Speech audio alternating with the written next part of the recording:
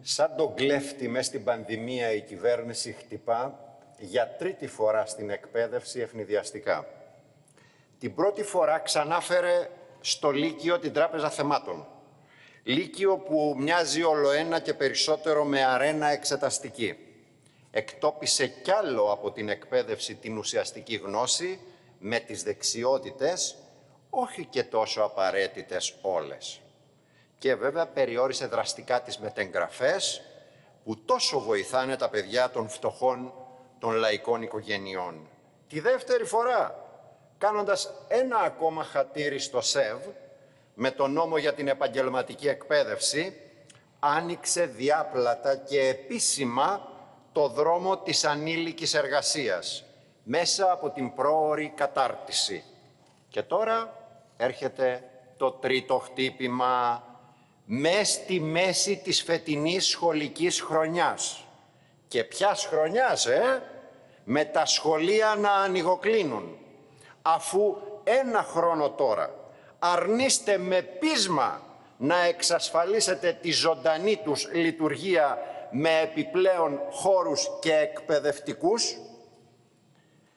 Μες στη μέση λοιπόν της φετινής σχολικής χρονιάς, τέσσερις μήνες πριν τις πανελλαδικές εξετάσεις αλλάζεται δραστικά τη διαδικασία εισαγωγής στα πανεπιστήμια. Δεν έφτανε δηλαδή στα παιδιά και τις οικογένειές τους το άγχος το μεγάλο των εξετάσεων που έχουν, άγχος που χτυπάει κόκκινο, ξέρετε, στα λαϊκά σπίτια από τις δύσκολες και σκληρές συνθήκες της πανδημίας, έρχεστε τώρα κι εσείς αυτό το άγχος τους να το μεγαλώσετε ακόμα περισσότερο, φέρνοντας κάτι αλλαγές σκέτο φαρμάκι, όπως η ελάχιστη βάση εισαγωγής και το λεγόμενο διπλό μηχανογραφικό. Νομίζετε πως βρήκατε τώρα την ευκαιρία και βαφκαλίζεστε συνέχεια με τις δημοσκοπήσεις που σας λένε πως όλα αυτά που ψηφίζετε τα βλέπει θετικά, λέει, η πλειοψηφία της κοινωνίας. Ξέρετε κάτι όμως, όλα αυτά αλλάζουν και μάλιστα πάρα πολύ γρήγορα όταν τα δουν και τα ζήσουν στην πράξη. Αυτό θα γίνει και με τις αλλαγές στο εξεταστικό. Γιατί στην πραγματικότητα με αυτές τα εμπόδια που πρέπει να ξεπερνάνε τα παιδιά των λαϊκών οικογενειών για να μπουν στο πανεπιστήμιο γίνονται ακόμα μεγαλύτερα. Το νέο μεγάλο εμπόδιο που υψώνεται με το νομοσχέδιό σας και μάλιστα άμεσα στις πανελλαδικές εξετάσεις του ερχόμενου Ιούνιου λέγεται ελάχιστη βάση εισαγωγής στη θέση της παλιότερης βάσης του 10. Από φέτος ακόμα, με την πρώτη εφαρμογή, αναμένεται να είναι λιγότεροι οι εισακτέοι στα πανεπιστήμια από 20 έως 30 χιλιάδες, σύμφωνα με τους Πριτάνης, την Ολμέ αλλά και τη δική σας έμεση ομολογία. Και αυτές οι χιλιάδες λιγότεροι φοιτητές θα λείψουν από τις σχολές τις περιφερειακές με ορατό το ενδεχόμενο αρκετές από αυτές όπως και ορισμένες κεντρικές να κλείσουν.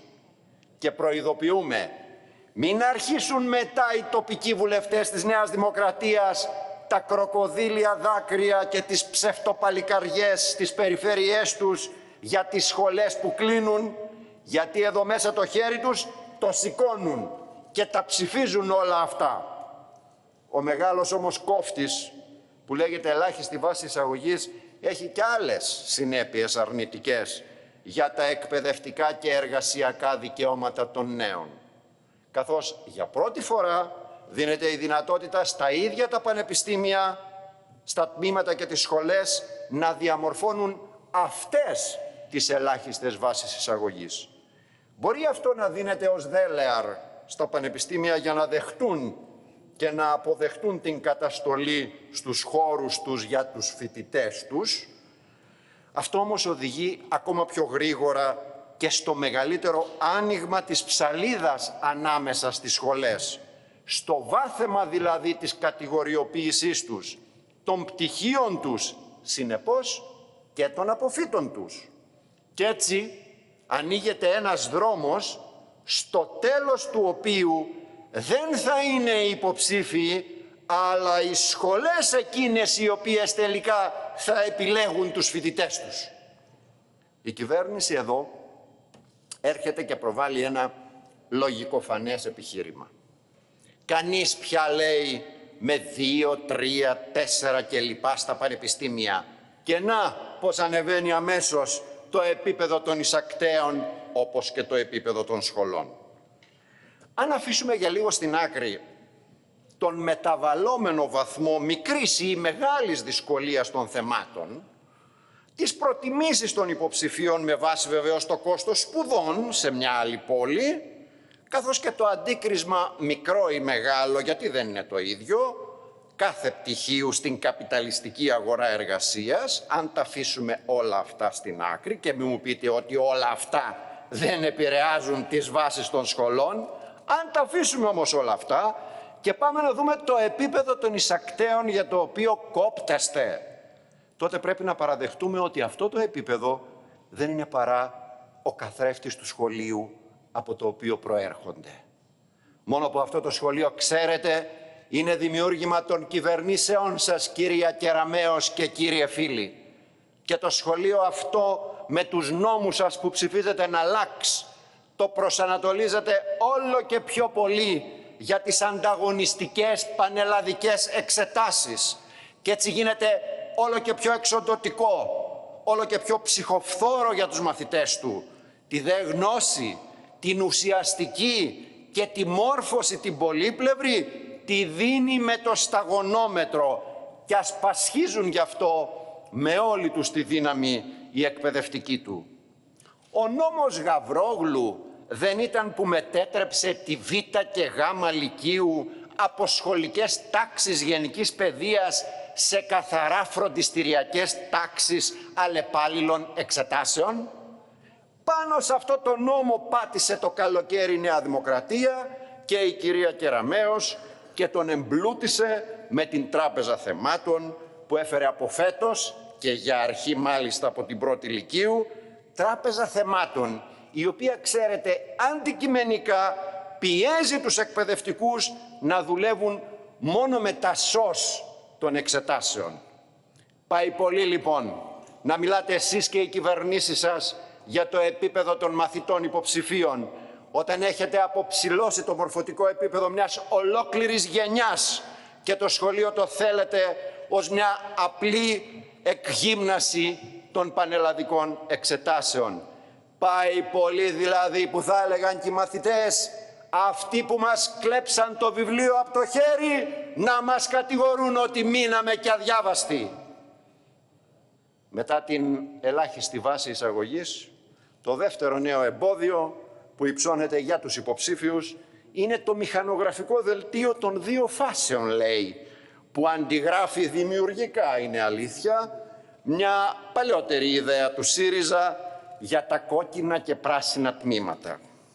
Στην πρώτη φάση συμπλήρωσής του, αυτού του δελτίου, που θυμίζει τυχερό παιχνίδι, ρουλέτα κανονική δηλαδή, μπαίνει όριο με ελάχιστες επιλογές το 10% μόλις των σχολών κάθε πεδίου. Όποιος δεν τα καταφέρνει στην πρώτη φάση, και αυτή θα είναι βέβαια η περισσότερη, τότε θα συμπληρώνει το δεύτερο μηχανογραφικό. Για όσες όμως και για όποιες κενές θέσεις περισσεύουν από την πρώτη φάση. Και αυτό σοβαρά λέτε ότι εξασφαλίζει στους υποψήφιους την επιλογή που επιθυμούν. Ποιον κοροϊδεύετε, ακριβώς το αντίθετο συμβαίνει και μάλιστα χειρότερα και από ό,τι γίνεται σήμερα. Βέβαια, η κυβέρνηση το διπλό μηχανογραφικό το πήγε για του χρόνου, κάνοντας έναν ελιγμό αναγκαστικό από τις μαθητικές κινητοποιήσεις. Πάντως, αν ήθελαν πραγματικά οι κυβερνήσεις να εισάγονται οι μαθητές στις σχολές που επιθυμούν, θα τους έδιναν το δικαίωμα να επαναλαμβάνουν τη διαδικασία, να κατοχυρώνουν τη βαθμολογία μαθημάτων για τις επόμενες χρονιές και να έχουν διευρυμένες επιλογές σχολών ανάλογα με τα μαθήματα. Το προτείναμε κατ' επανάληψη, αλλά το απέρριψε και η κυβέρνηση της Νέας Δημοκρατίας και η κυβέρνηση του ΣΥΡΙΖΑ παλιότερα. Και όχι μόνο αυτό, αλλά βάζετε και επιπλέον κόφτες. Έτσι που τελικά η εισαγωγή ενός παιδιού στο πανεπιστήμιο να εξαρτάται από την τσέπη των γονιών του και την κοινωνική του καταγωγή. Δεν μπορούν όπως λέτε όλοι να πηγαίνουν στο πανεπιστήμιο, ειδικά αν πρόκειται για παιδιά από λαϊκά σπίτια. Λέτε βέβαια σε αυτά τα παιδιά, δεν πειράζει, υπάρχουν κι άλλες εναλλακτικές εκπαιδευτικές διαδρομές, όχι μόνο το πανεπιστήμιο, και δείχνετε τα δημόσια ΙΕΚ, μάλιστα. Ποια ακριβώς αυτά που κλείνετε με τον νόμο που ψηφίσατε πριν ένα μήνα. Δεν ψηφίσατε ότι για να μην κλείσουν σε Αδύνα και Θεσσαλονίκη τα δημόσια ΙΕΚ πρέπει λέει να εξασφαλίσει το καθένα τουλάχιστον 250 σπουδαστές και στην υπόλοιπη Ελλάδα 100. Το ξεχάσατε. Για ποια δημόσια ΙΕΚ μιλάτε; Για αυτά που μειώσατε τη χρηματοδότησή τους από 85 εκατομμύρια τόσα τους δίνατε τους δίνατε και δεν τους φτάναν και τα πάτε τώρα στα 56. Φυτοζωούσαν που φυτοζωούσαν από την υποχρηματοδότηση και πιο πριν. Και τώρα τους λέτε εσείς σοβαρά ότι με λιγότερα λεφτά θα μπορούν να δεχτούν περισσότερους σπουδαστές. Μας δουλεύετε. Ή σκοπεύετε τα λεφτά που μειώσατε να τα βρείτε από τις τσέπες των σπουδαστών. Μην τολμήσετε. Οι σπουδαστές των ΙΕΚ δεν θα σας το επιτρέψουν. Τελικά, μετά τη μεγάλη σφαγή των υποψηφίων και τις περιορισμένες θέσεις των δημόσιων ΙΕΚ, η μόνη εναλλακτική που θα απομένει στα παιδιά των λαϊκών οικογενειών είναι τα ιδιωτικά ΙΕΚ και τα κολέγια που ξεφυτρώνουν σαν τα μανιτάρια. Και εδώ, στα κολέγια, ο ΣΥΡΙΖΑ τη φωλίτσα του την έχει λερωμένη έφερε και αυτός και το 17 και το 18 ευνοϊκές ρυθμίσεις για αυτά τα κολέγια ως κυβέρνηση. Ενώ αλυσμόνητη βεβαίως θα μείνει και η τότε ερώτηση 61 βουλευτών του ΣΥΡΙΖΑ, ήσασταν και εσείς ανάμεσα σε αυτούς κύριε φίλοι, που απαιτούσατε να μην καθυστερεί η αντιστήχηση των πτυχίων των κολεγίων. Τώρα, για να πάμε και στο άλλο θέμα, την ώρα που τα πανεπιστήμια είναι τα μόνα που έκλεισαν και δεν άνοιξαν ποτέ εδώ και ένα χρόνο, τα μόλ βλέπετε και όλα τα εμπορικά κέντρα μπορούν να λειτουργούν εκεί κοντά στο Υπουργείο σας, όχι όμως οι σχολές οι πανεπιστημιακές. Την ώρα που οι φοιτητές διεκδικούν να ανοίξουν οι σχολές τους με όλα τα απαραίτητα μέτρα υγειονομικής ασφάλειας, την ώρα που αρχίζουν όπως στην Κρήτη για παράδειγμα οι ίδιοι οι φοιτητές με τους συλλόγους τους να ζωντανεύουν τις σχολές τους παίρνοντας πρωτοβουλίες επαναλειτουργίας τους τι κάνετε εσείς; Μπορεί να κλαίγεστε συνέχεια για το brain drain αλλά τους επιστήμονες στην Ελλάδα δεν τους αξιοποιείτε για να διδάξουν στα πανεπιστήμια. Ανοίγεται βέβαια. Ανοίγεται αλλά όχι τις σχολές. Ανοίγεται αστυνομικά τμήματα μέσα στις σχολές και τα πανεπιστήμια. Αξιοποιείται την ολοφάνερη, προβοκατόρικη δράση μηχανισμών γνωστών αγνώστων που καμιά σχέση δεν έχουν με τους φοιτητές και το κίνημά τους. Και ως μάνα εξ ουρανού σας ήρθε εκείνη η γνωστή απάνθρωπη προβοκατόρικη ενέργεια με τον πρίτανη της ΑΣΟΕ επενδύσατε, βλέπετε, τόσα χρόνια στη συστηματική συκοφάντηση των πανεπιστημίων ως κέντρων εγκληματικότητας και φέρνετε τώρα να ψηφίσετε με το σημερινό νομοσχέδιο μαζεμένα τα κατασταλτικά μέτρα σε βάρος των φοιτητικών συλλόγων και των φοιτητών που διεκδικούν για τις σπουδές τους και τις ζωές τους. Ένα σωρό κατασταλτικές διατάξεις όλες κάτω από την ταμπέλα της προστασίας δήθεν, της ακαδημαϊκής ελευθερίας και της αναβάθμισης τάχα μου του ακαδημαϊκού περιβάλλοντος. Διατάξεις οι οποίες συνθέτουν ένα απέραντο πλέγμα οργάνων, μέτρων, μέσων για την παρακολούθηση, ποινικοποίηση, τρομοκράτηση των φοιτητικών αγώνων και των διεκδικήσεων. Δεν είναι μόνο η ανήκουστη εγκατάσταση μόνιμη μάλιστα της αστυνομίας στα πανεπιστήμια. Λες και αυτή η αστυνομία δεν έχει άλλη δουλειά να κάνει. Ο φυγόπινος χρυσαυγίτης παπάς ακόμα παραμένει ασύλληπτος, κύριε Χρυσοχοίδη. Υπάρχουν κι άλλα. Τι ηλεκτρονικά και λοιπά συστήματα ασφαλείας για εξωτερικούς και εσωτερικούς χώρους. Τι ηλεκτρονικές μπάρες εισόδου. Τι κάμερες επιτήρησης παντού, ακόμα και μέσα στα αμφιθέατρα. Τι ηλεκτρονικά μηχανήματα ανείχνευσης στις εσωτερικές και εξωτερικές εξόδους. Όλα αυτά θα σε κάνουν να ξεχνάς πως βρίσκεσαι σε πανεπιστήμιο. Μέσα στα νιάτα δηλαδή, μες στη ζωή και τη γνώση και θα νομίζεις πως βρίσκεσαι σε κάποιο επιχειρηματικό κέντρο υψής της ασφαλείας. Το κατασταλτικό κρεσέντο της κυβέρνησης όμως δεν τελειώνει εδώ. Με την ίδια αντιδραστική κατασταλτική λογική φέρνει και το λεγόμενο πειθαρχικό δίκαιο των φοιτητών. Οι ποινές που προβλέπονται για παραβάσεις φωτογραφίζουν και στοχοποιούν όχι βέβαια κάποιους εγκληματίες, αλλά τη δράση των φοιτητικών συλλόγων και τους ίδιους τους αγωνιζόμενους φοιτητές μέσα στα πανεπιστήμια.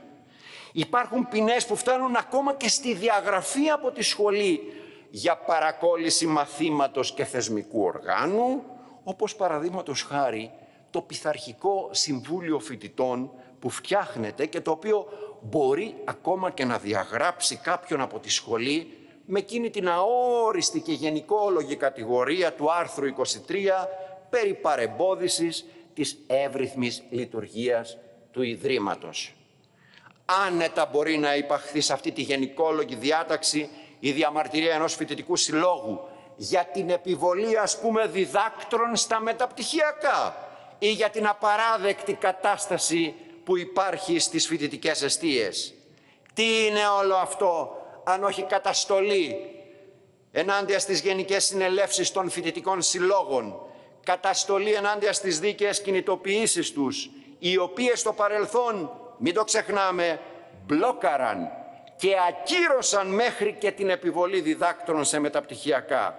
Πρόκειται για, ασφαλώς για μια πολύ αντιδραστική, επικίνδυνη εξέλιξη. Και εδώ όμως ο δρόμος άνοιξε και το άλοθη δόθηκε πάλι από την κυβέρνηση του ΣΥΡΙΖΑ. Γιατί ήταν ο ΣΥΡΙΖΑ αυτός που δύο χρόνια πριν, το Σεπτέμβρη του 2018, με εκείνο το πόρισμα της Επιτροπής Παρασκευόπουλου, έδινε το σύνθημα για την παραπέρα ποινικοποίηση των αγώνων των φοιτητών, κατατάσσοντας την κατάληψη στα ποινικά αδικήματα και προβλέποντας ακόμα και τη σύσταση Επιτροπής Αντιμετώπισης Καταλήψεων. Νάτι λοιπόν μπροστά μας η κύρια αιτία και ο βασικός σκοπός όλων αυτών των αστυνομικών μέτρων. Προορίζονται πριν απ' όλα να περιφρουρήσουν την επιχειρηματική λειτουργία των Ιδρυμάτων, αλλά και να αντιμετωπίσουν με βία και καταστολή κάθε οργανωμένη συλλογική αμφισβήτηση του Πανεπιστημίου ανώνυμη εταιρεία και κάθε αγωνιστική διεκδίκηση των φοιτητών για ολοκληρωμένες σπουδές, για πτυχία με αντίκρισμα. Να γιατί μπάζετε και την αστυνομία μέσα στα πανεπιστήμια και αυτό δεν αλλάζει είτε αυτή υπάγεται στο αρχηγείο της αστυνομίας είτε υπάγεται στις πριτανίες των Ιδρυμάτων όπως θέλει ο ΣΥΡΙΖΑ και οι υπόλοιποι αντιπολιτευόμενοι. Το συμπέρασμα βγαίνει μόνο του. Όσο το πανεπιστήμιο μετατρέπεται σε επιχείρηση, όσο εμπορευματοποιείται, όσο εν τέλει απομακρύνεται από τις πραγματικές ανάγκες των φοιτητών, αλλά και της κοινωνικής πλειοψηφίας, τόσο θα καταφεύγει στην καταστολή, στην πυγμή, στη φοβέρα. Κατασταλτικός, στην ουσία είναι και ο ρόλος των ορίων φίτησης που μπαίνουν τα περίφημα νήσιν 2 με τη γνωστή ατάκα περί αιώνιων φοιτητών. Καλά, πού ζείτε; Δεν ξέρετε ότι πολλοί φοιτητές δυσκολεύονται να ανταποκριθούν στο κόστος των σπουδών τους. Δεν ξέρετε ότι σχεδόν οι μισοί, σύμφωνα με έρευνες, δουλεύουν σε δουλειές του ποδαριού, κακοπληρωμένες, ανασφάλιστες, για να μπορέσουν να σπουδάσουν. Τι νομίζετε, όλα τα παιδιά έχουν στρωμένα χαλιά στη ζωή τους; Και έρχεστε και τους βάζετε το μαχαίρι στο λαιμό να τελειώνουν γρήγορα γρήγορα τις σπουδές τους; Λες και αυτοί δεν θέλουν, λες και μπορούν και δεν το κάνουν. Και αυτά τα παιδιά που για κοινωνικούς λόγους τα περισσότερα καθυστερούν το πτυχίο τους, τολμάτε να τα απειλείτε με διαγραφές και τα βάζετε να σας παρουσιάζουν και έμσημα ότι εργάζονται. Για να κάνετε τι, να τα βοηθήσετε μήπως οικονομικά και να τα στηρίξετε για να πάρουν έγκαιρα το πτυχίο τους. Όχι βέβαια, αλλά για να παρατείνετε εσείς οι ίδιοι τις σπουδές τους. Εσείς, εσείς τις παρατείνετε, εσείς οι κατήγοροι των αιώνιων φοιτητών. Στην πραγματικότητα, φράγκο δεν δίνεται για αυτά τα παιδιά και ασχολείστε με το φαινόμενο των καθυστερήσεων στις σπουδές, γιατί αυτό χαλάει τη μόστρα των πανεπιστημίων στις διεθνείς κατατάξεις των αξιολογήσεών τους. Μόνο που στους δείκτες αυτών των αξιολογήσεων οι φοιτητές είναι απλοί, σκέτοι αριθμοί και όχι άνθρωποι με ανάγκες. Και τις αξιολογήσεις αυτές τις προσκυνάτε όλοι σας από τη Νέα Δημοκρατία μέχρι το ΣΥΡΙΖΑ. Ακούγαμε όλες αυτές τις μέρες και ακούμε από το ΣΥΡΙΖΑ να λέει ότι θα καταργήσει, λέει, άμα γίνει κυβέρνηση αυτόν τον νόμο. Ολοκληρώστε κύριε Δελής. Ολοκληρώνω. Καλά. Πολλά έλεγε ο ΣΥΡΙΖΑ πως θα καταργήσει, με τα θυμηθούμε τώρα, με ένα νόμο και με ένα άρθρο, αλλά για να έχουμε και καλό ρώτημα. Τι ακριβώς θα καταργήσει ο ΣΥΡΙΖΑ; Θα καταργήσει μήπως τα δίδακτρα στα μεταπτυχιακά που ο ίδιος απογείωσε; Θα καταργήσει τα δίδακτρα στα ξενόγλωσσα τμήματα που ο ίδιος εισήγαγε; Θα καταργήσει τις business των πανεπιστημίων ακόμα και σε βάρος των φοιτητών που και αυτός υποβοήθησε. Θα καταργήσει την ομοιρία της έρευνας από τα κέρδη των επιχειρηματικών ομίλων. Αυτό δεν ζούμε τώρα με τα εμβόλια. Θα καταργήσει μήπως τη στρατηγική της Ευρωπαϊκής Ένωσης που τα προβλέπει όλα αυτά. Όχι βέβαια, γιατί και ο ίδιος και συμφωνεί και τα υπερασπίζεται όλα αυτά. Το πολύ πολύ άντε να αλλάξει το χρώμα στις στολές των πανεπιστημιακών αστυνομικών όπως ζητούσε η Αυγή και να τους υπαγάγει στον Πρίτανη αντί για τον αρχηγό της αστυνομίας. Στην πραγματικότητα, και αυτό το ξέρουμε όλοι, ο μόνος που μπορεί και πρέπει να τα καταργήσει όλα αυτά στην πράξη είναι ο λαός και τα παιδιά του με την πάλη τους και με πηξίδα σταθερή τίποτα λιγότερο από τις σημερινές σύγχρονες ανάγκες τους και θα το κάνει, να είστε σίγουροι. Αύριο, όλες αυτές τις μέρες και αύριο με τα συλλαλητήρια σε όλη τη χώρα, αυτό ακριβώς θα βροντοφωνάξει. Καταψηφίζουμε φυσικά, με χέρια και με πόδια, αυτό το νομοσχέδιο και καταθέτουμε ως ΚΚΕ έτοιμα ονομαστικής ψηφοφορίας επί της αρχής του νομοσχεδίου αφού αυτή η αρχή είναι που καθορίζει και το αντιδραστικό του περιεχόμενο. Ευχαριστώ.